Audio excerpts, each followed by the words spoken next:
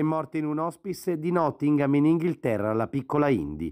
La mia vita è finita all'1.45 della notte, dice il padre Dan Gregory, l'ora esatta in cui il cuore della bimba di otto mesi, affetta da un grave disturbo mitocondriale giudicato incurabile, ha smesso di battere dopo la decisione dei giudici britannici di interrompere i trattamenti contro quella dei suoi genitori che la tenevano ancora in vita. Siamo arrabbiati, affranti e pieni di vergogna. Il servizio sanitario e i tribunali del Regno Unito non solo le hanno tolto la vita, dicono Claire e Danny, il papà e la mamma, ma anche la dignità di morire in pace a casa sua.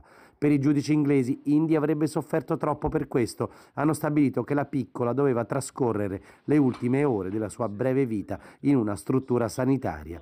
In Gran Bretagna funziona così. In questi casi drammatici sono i medici e i magistrati ad avere l'ultima parola non solo sulla vita o la morte, ma anche sul luogo in cui devono essere interrotte le terapie.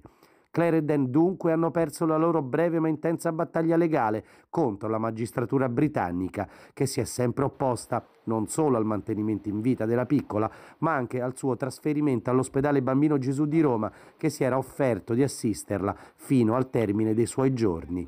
Per sbloccare la situazione non è servito nemmeno il conferimento della cittadinanza italiana deciso dal Consiglio dei Ministri il 6 novembre scorso. Abbiamo fatto tutto quello che potevamo, ma purtroppo non è bastato. Buon viaggio, piccola India, scritto sui social la Premier Giorgia Meloni.